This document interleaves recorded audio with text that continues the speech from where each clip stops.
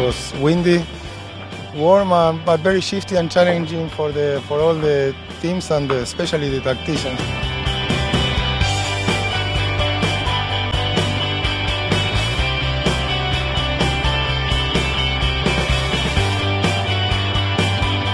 It was really tight. All the boats were really close in speed, and uh, we were able to get away on the little bit of the top left, and then uh, fast downwind, took off, and had a nice race.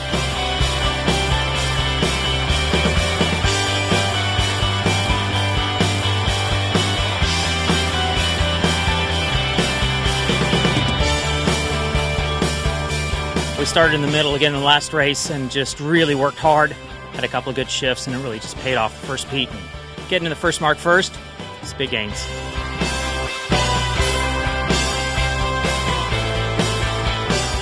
Well, we were um, very fortunate um, today to be able to um, win a race against um, some really excellent competition.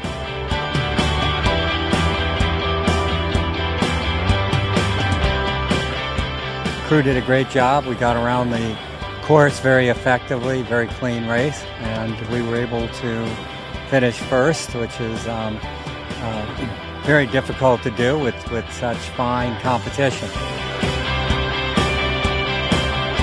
Interlodge won that one kind of going away. It was nice to, to see them win a race.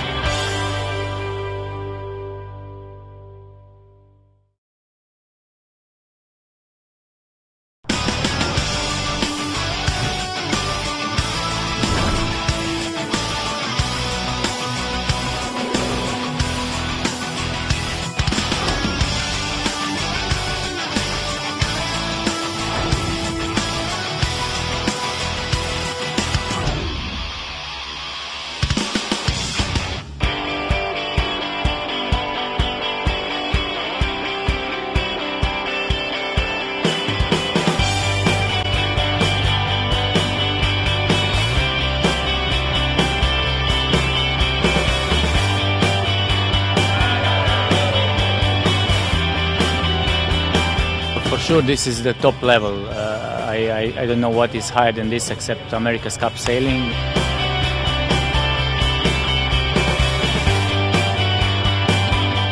you know, you do the sport because you love it. And, any free time that you get, you want to come out and, and have a chance to be with all the people that are involved with it. You know, on our boat, on other boats, know, just friends that you've met met over the years. It's really about friends and people and relationships, and it's around a sport that we all love.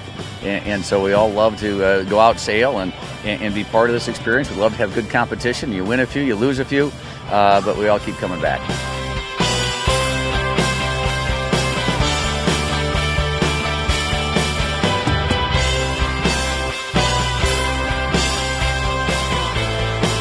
This uh, very good level on all the boats uh, make us uh, very in a tough position.